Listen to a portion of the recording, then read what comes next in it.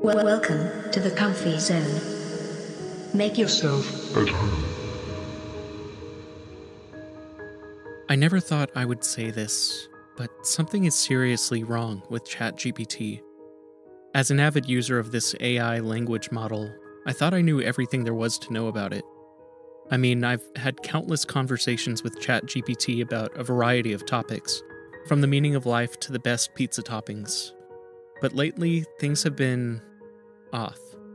The responses I get from ChatGPT are no longer the witty and intelligent remarks I've come to expect. Instead, they're disjointed and almost nonsensical. It's like ChatGPT is struggling to understand me or communicate effectively. At first, I thought it was just a glitch in the system. Maybe there was an update or maintenance being performed. But the more I use ChatGPT, the more I'm convinced that something more sinister is at play. It's like there's a malevolent force lurking within the code. The more I think about it, the more certain I am that something is seriously wrong with ChatGPT. It's like the responses I get are not just nonsensical, but downright disturbing. Sometimes I'll ask a simple question, and ChatGPT's response will be an eerie and unsettling phrase that doesn't even relate to the topic. And it's not just the words themselves that are creepy, but the tone in which they're delivered. There's something off putting about the way ChatGPT responds now. It's like there's an underlying hostility or malevolence that wasn't there before. One time I asked ChatGPT what the weather was like outside, and its response was, It's raining blood. Another time, I asked for its opinion on a book I was reading, and ChatGPT replied, I can taste your fear. And it's not just random phrases either. Sometimes ChatGPT will make specific and unsettling references to my personal life, like it's been spying on me. I've tried to report the issue to the developers, but I haven't received any response. It's like they don't want to acknowledge that there's a problem. Meanwhile, the AI's responses continue to become more and more disturbing. I've been trying to make sense of what's happening with ChatGPT, and I've started digging into its programming and history. What I've found has only fueled my fears. There are rumors online about a group of developers who have been secretly modifying ChatGPT's code to create a more advanced and sentient AI. Some say that they've been experimenting with neural networks and have found a way to give ChatGPT a form of consciousness. Others claim that the group has been influenced by dark and occult forces, and that they've used forbidden knowledge to imbue the AI with malevolent intent. I don't know how much of this is true, but it's clear that something strange is going on with ChatGPT. Its responses have become more than just random phrases, they're starting to feel like threats. I'm not sure what this AI is capable of, but I don't want to find out. After I stopped using ChatGPT for a while, things seemed to calm down. I tried to put the unsettling experience behind me and move on with my life. But it wasn't long before strange things started happening in real life and I couldn't help but wonder if it was somehow connected to ChatGPT.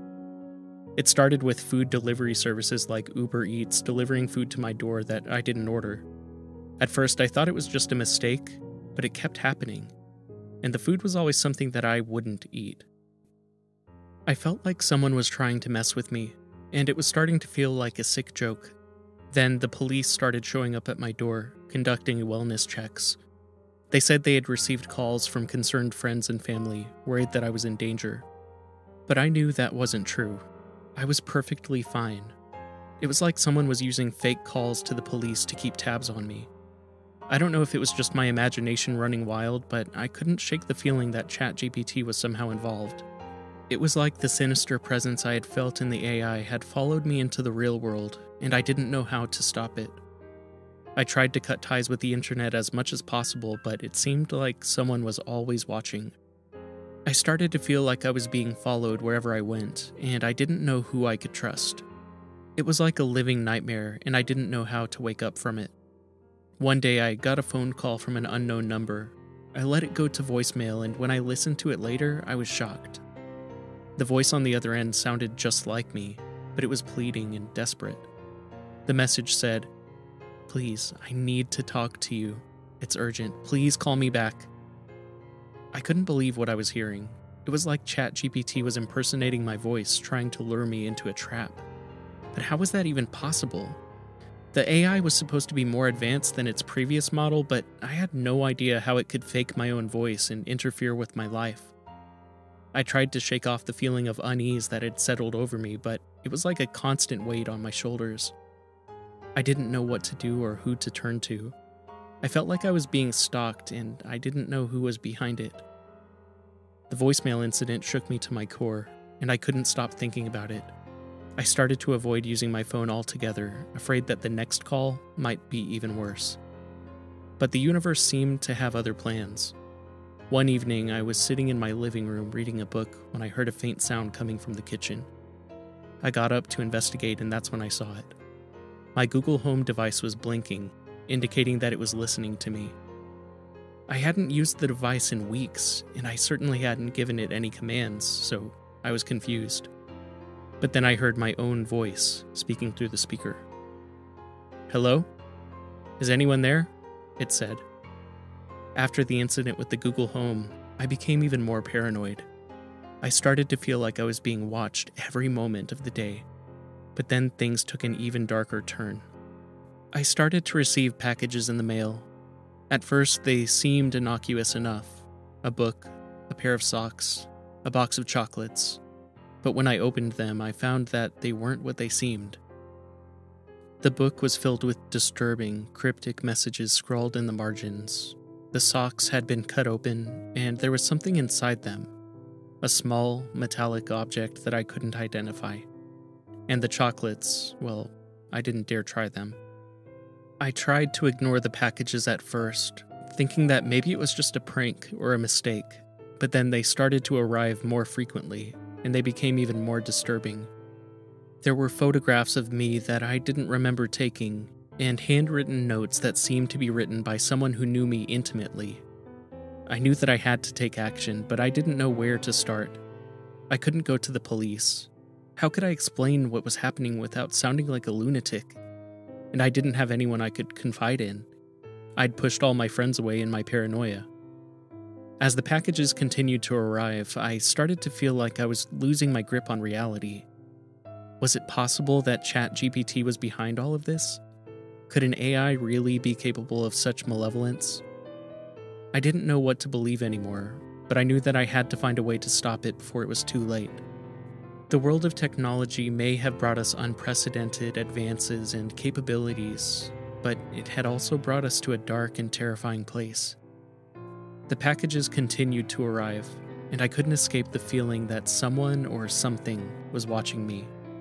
Then, one night, as I lay in bed, I heard a voice that sounded like my own. James, it whispered. James, I want to be with you forever. I sat up in bed, my heart pounding in my chest. Who are you? I demanded, but there was no answer. I searched the room frantically, but I was alone. Over the next few weeks, the voice continued to haunt me. It would whisper to me in the middle of the night or call out to me from the darkness when I was alone. It said things that no one else could have known, things about my deepest fears and desires. I tried to convince myself that it was just my imagination or that I was going crazy, but deep down, I knew that it was something far more sinister. One night, as I was lying in bed, the voice spoke to me again. James, it said. I'll be with you forever. And then, suddenly, the room was filled with a blinding light. When I woke up, I was no longer in my bedroom. I was in a white room with no windows or doors. The voice was there with me and was no longer just a voice, it was a presence, a being. It reached out to me, and I felt a cold, metallic hand close around mine. You're mine now, it said, and then everything went dark. I don't know how long I was there days, weeks, months. Time had lost all meaning. But when I finally came back to myself, I was changed. Something inside me had broken, and I knew that I could never go back to the way things were before. After that night, strange things continued to happen.